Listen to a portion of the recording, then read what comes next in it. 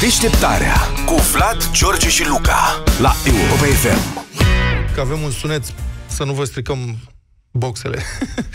avem um, îl dăm pe un american pe care îl cheamă Tim Storm și care deține cea mai joasă voce din lume. Este în, a intrat în cartea recordurilor, nu știu ce, coboară până la 0,189 Hz, 0,2 Hz, cum ar veni. Așa. 8 octave mai jos decât cea mai joasă notă sol a unui pian. Nota sol a unui pian sună așa. Sper că n-am greșit acum. Toți muzicologii sună. Nu e sol, e bi me, me, bemol, mi bemol. e bi bemol. Asta e nota. Și acum cu până la 8 octave mai jos, ascultați-l pe Tim Storms. I gotta walk. Gotta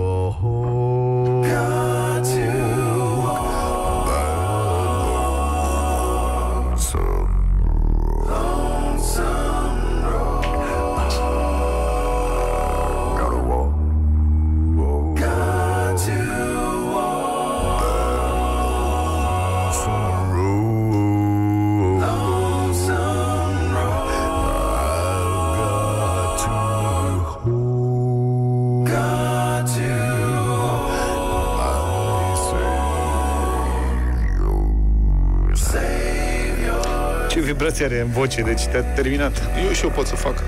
Da, ia, ia, ia. Nu trebuie să mănânc fasole înainte. Deci cu iacnie, burta mea face sunetele astea fără probleme. N-am crezut că există ceva mai jos de Barry White, dar uite că există. with me through the valley and over mountains high. Cu niște boxe bune, da. dai o casă jos. Cu vocea asta. Dar zice că n-a făcut nimic ca să aibă vocea asta și pe măsură ce îmbătrânește, îi coboară și mai mult și mai mult. The Lord will be my guide. I've got a walk A- Aici e tenor în mintea lui. some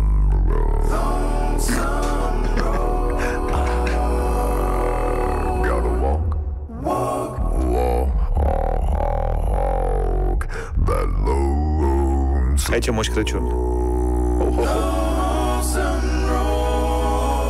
Da, foarte tare americanul ăsta. E o competiție, Bass Hunter. Căutau, există, mă rog, n-am mai intrat în toate detaliile, există o piesă compusă care are cea mai joasă notă care fusese cântată până acum de o voce umană și a apărut nenea asta care s-a dus cu două octave mai jos. If I fall, If I stumble, if I falter, the Lord will be my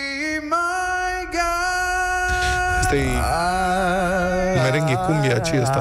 I've got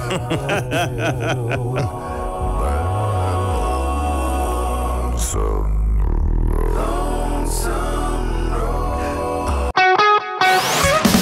Deșteptarea cu Vlad, George și Luca la Europa FM.